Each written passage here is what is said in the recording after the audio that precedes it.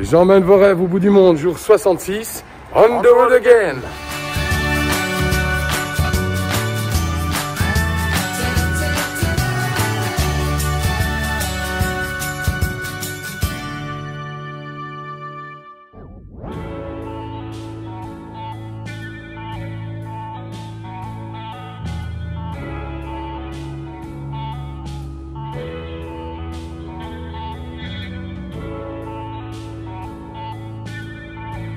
Bon, je pense qu'il va encore falloir attendre un jour ou deux avant d'être à nouveau époustouflé par les paysages.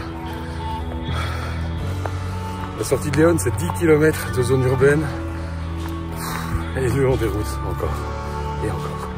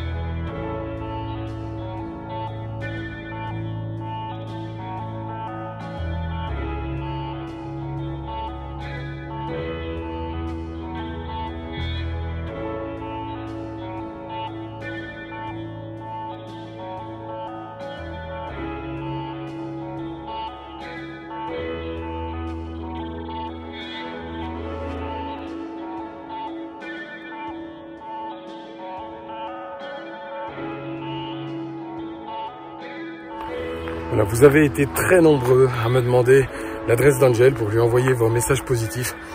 Alors merci beaucoup, merci pour lui, ça fait plaisir. Et j'espère que ça lui fera autant plaisir à lui en tout cas. Il va un peu se demander d'où viennent toutes ces lettres et pourquoi. Mais voilà, ça fait partie de la magie du chemin.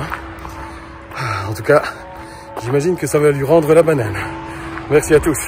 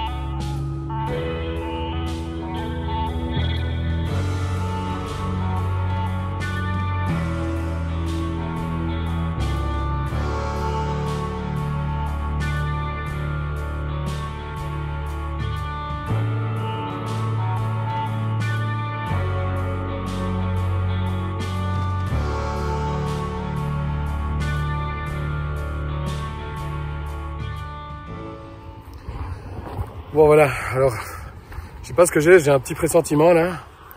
J'ai croisé un, un, un, mec chelou et euh, je sais pas ce qu'il me veut le gars, mais en tout cas. Euh...